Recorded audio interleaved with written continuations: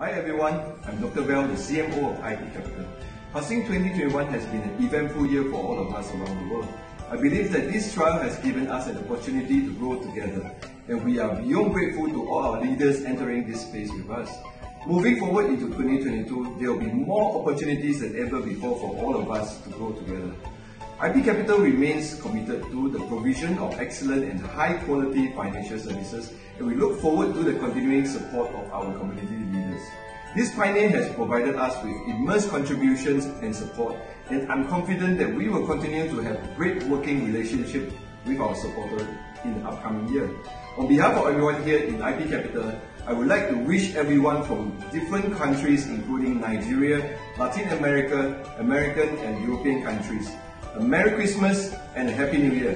Thank you and have a nice day.